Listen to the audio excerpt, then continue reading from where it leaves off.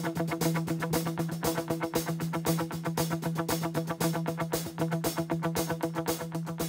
name is Patricia and I come from Spain.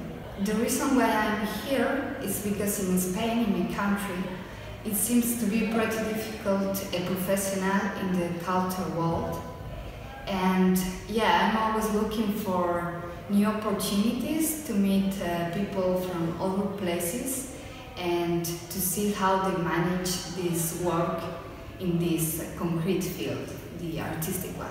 I'm gonna talk about my needs and my expectations, both at the same time. My needs are pretty much to get new tools and yet for improve my own work in my in my country and also to to expand the network to make new contacts and find interesting people.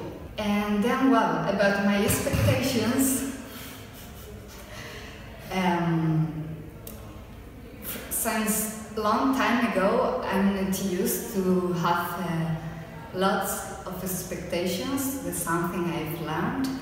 But well, I guess uh, in summary is to know about everything or learn as much as possible from other people and yeah, other ways to, to do things.